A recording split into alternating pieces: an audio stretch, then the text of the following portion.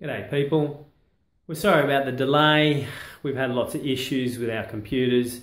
We only had two. One got completely trashed in the disaster and the other one's, well, half broken. We also lost a lot of gear and a lot of data and a lot of video was just gone. So we're trying to salvage what we can.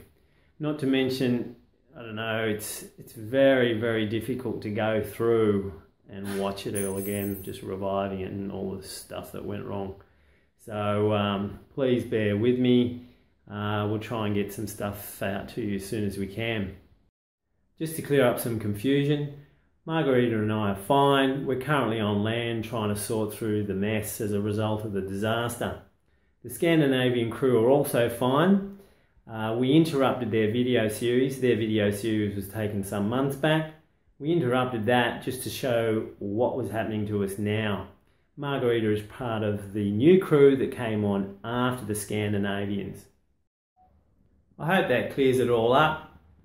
The next video, which should be coming to you in a day or two, is Margarita and I trying to save the boat.